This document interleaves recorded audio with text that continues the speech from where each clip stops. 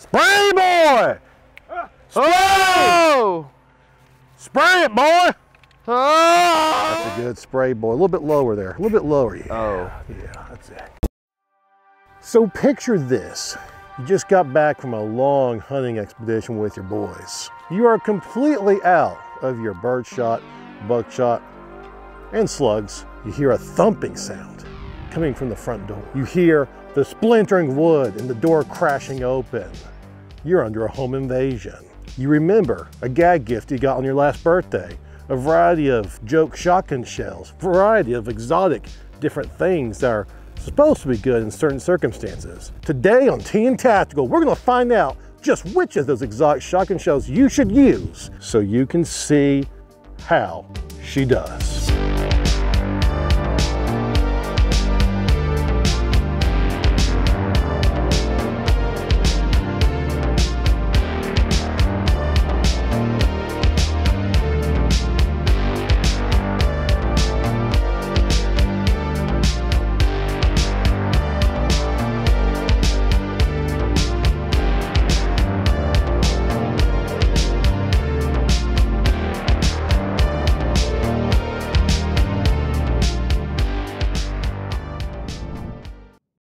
Now, in order to properly test this against home invaders, you know, you need to account for different things like maybe you might have to shoot through your sheetrock walls. Maybe you're gonna have to get through some plywood or let's say your intruder is behind one of your walls. We have set up a barrier here. Let's say that you are having to shoot through a sheetrock wall. Maybe there is some three quarter inch plywood behind that sheetrock and you're trying to get the intruder on the other side. We're gonna actually shoot five different exotic rounds that we have deemed to be most likely used in a home defense situation. Probably not dragon's breath. You don't wanna set your home on fire. Probably not arm piercing incendiary rounds, but things that may work or may not work.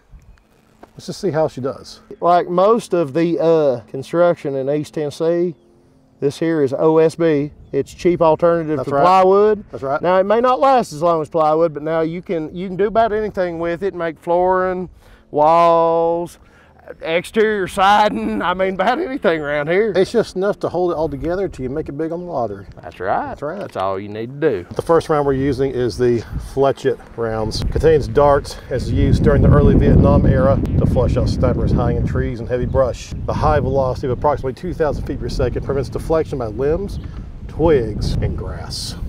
Mm. Let's see how it does against sheetrock and OBS wood. OSB. OSB. All right, Flechette. There it is. It's in. You see it? Oh yes. Yeah. Let's see how she does. Sheetrock vibe check in three, two, one. Well. Oh, wow. Uh oh. yeah. Come through here. It looks like if we use the uh, Flechette rounds, our Oh. burglar, our burglar will be safe, I think. Look right here though. Something has escaped. It's more than I expected for the little Flechettes, the little darts. Yeah, three made it through. One still tumbling, which is pretty impressive, honestly. Let's take a look at our Yeah, we gotta check out our criminal. criminal safe right now. Criminal is safe. Very good. Good to know. That's about what we expected. I'm actually surprised he got through the OSB, to be honest. I would like to know the energy of those things when they came through the other side, though. Were they just kind of like, or were they actually still flying enough to hurt? Next up, we have Piranha rounds. This is a round that's packed with a little bit of teeth to it. It is basically just a shot full of steel nails to give your target a bite they won't forget. Great for home defense, they say. Two and three quarter shell for shotgun use only. Ooh, good thing we have a shotgun. What you got there, boy? It's a little maraca of death. See all the nails in there? Little old nails, honey. They're like little framing nails. Or not Yay. framing, more like paneling nails or something.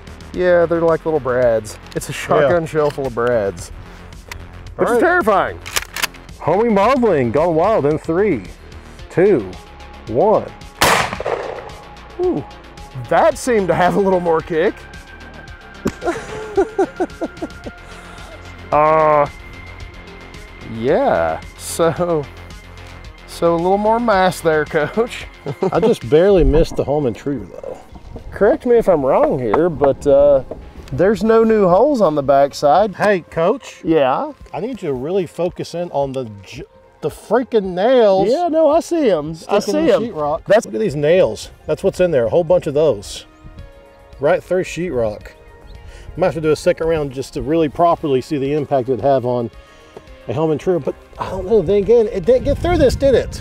It did not. Uh, So- it did bulge it out slightly and it did blow the wall apart. So we actually lost a lot of force that I think would have driven the nails on through the wall because the wall did come unattached. It wasn't supported on the backside. Rather than break the sheetrock, it uh, just kind of moved it out. I think if that was attached better, if we had more support on that end, I do believe they would have gone through. I truly do. Well, we can fix that.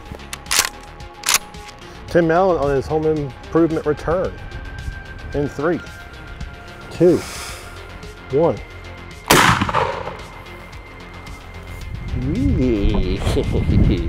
it did. My brace was a success, and my theory, it appears, was in fact correct. God, I love science. Woo! We have uh, taken care of the home invader coach. Home invader was thoroughly Nailed. We Nailed. nailed, him. Come on. I'm not going to let you miss that pun. There's no way.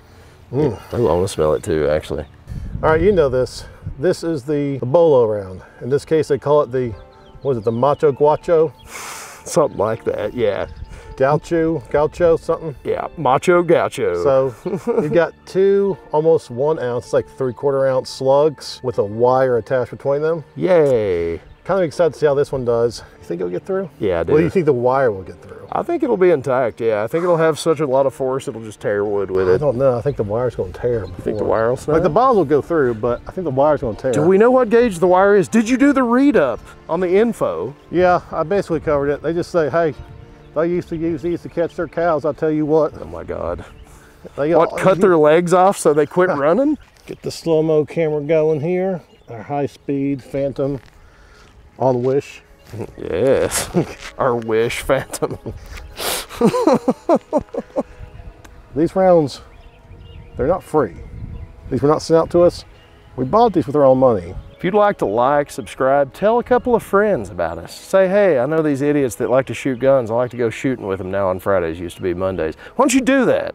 Why don't you uh, hit us up on Patreon? Why don't you buy a T-shirt? Why don't you come uh, see how it does? See how it feels to go shooting with us every Friday. We're going shooting Friday. Come shooting with us. Woo! All right, Macho Gaucho Bolo in three, two, one.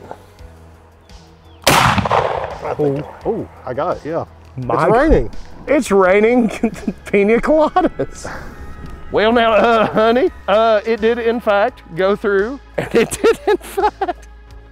Oh my God. Is that it? Yeah, buddy, it cut it straight in half. Holy That would be a bad time for somebody's leg. That's through wood. That's through. Oh my God. Look at that. Look at the. Look at the drywall powder in the pineapple. Look, it just That's what makes pina colada white. Is drywall powder. coach. exploded the, the, the middle right out. Yeah, it, it blew the lungs right out of it. Actually. I'll tell you what. It really did. Uh, look at the splatter that flew backwards towards the wall. It, uh,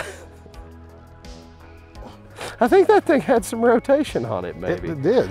The classic Rhodesian jungle are great for in-home defense. The combination of several large pellets surrounded by a mat of smaller pellets allows for double punching power to any intruder that is unlucky enough to cross its path. Make the intruder think twice with this double whammer power. If the big pellets don't get you, the small ones will. So the Rhodesian jungle to me looks like the round that you would want for point and click simplicity. You've got six double aught buck. You got a big, big packet of small shot. Gross. That's gonna feel bad no matter where you're standing in the room. I actually expect this one to do the most damage, but that bolo round really uh, kind of surprised me. Not gonna lie. Knights of Rhodesia in three, two, one. Yeah. Yeah, that's about what I expected.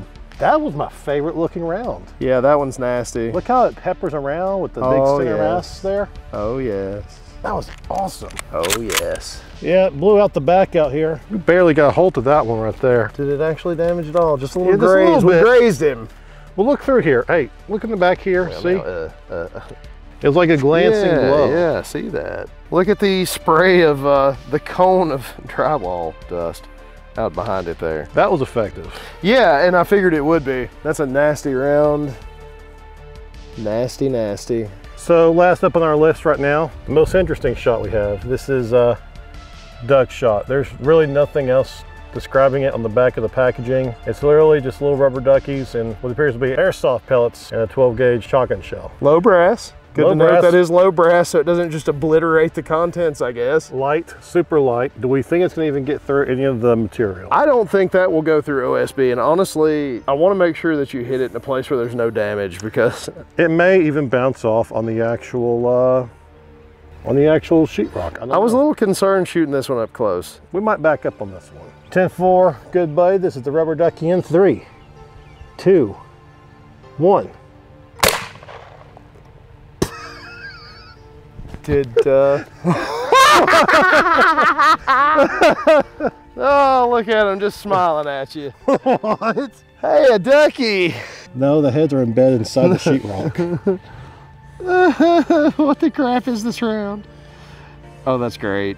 well, let's try one more on just plain old pineapple. All right. Oh my God. Yeah. All right. Let's just see how she does. Three, two, one.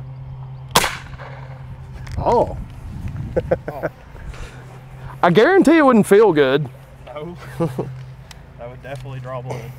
That would hurt you very badly. do you think Uh, maybe the wad did more damage? Probably. Just get a little shot of him smiling at you right there by the wad. Yeah, I mean, you wouldn't want to get hit with it. Yeah, real Yeah. bad. I mean, it could kill you. There, there's powder still in this. Look. I can't focus that close. Hang on. Yeah, power's still in this too. Oh, yeah. Still coming out. It's inside the shell still. Yeah. I think we learned a lot here. I think we learned that, you know, when it comes to these exotic shotgun shell rounds, in all seriousness, some of them can be pretty effective. You may not want to go with the lighter stuff like the little flechettes or anything like that, but some of the more heavy duty loads, the ones with like the slugs and buckshot built into them, while they might have silly names and kind of weird stacks, they're still really effective. And I think we proved that here today.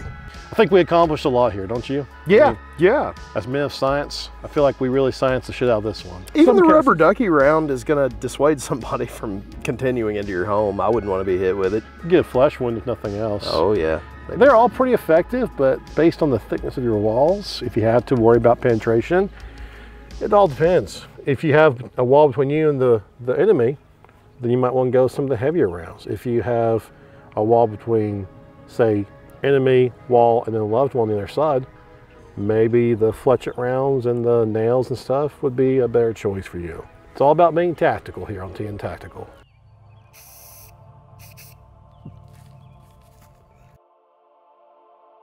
Guys, if you enjoy this kind of content, make sure to like, subscribe, comment down below. Have you ever shot exotic shotgun rounds like we did today? I'd love to hear from you. We will see you. Ah, it's stuck. Next time. No, him. Ah! Spray paint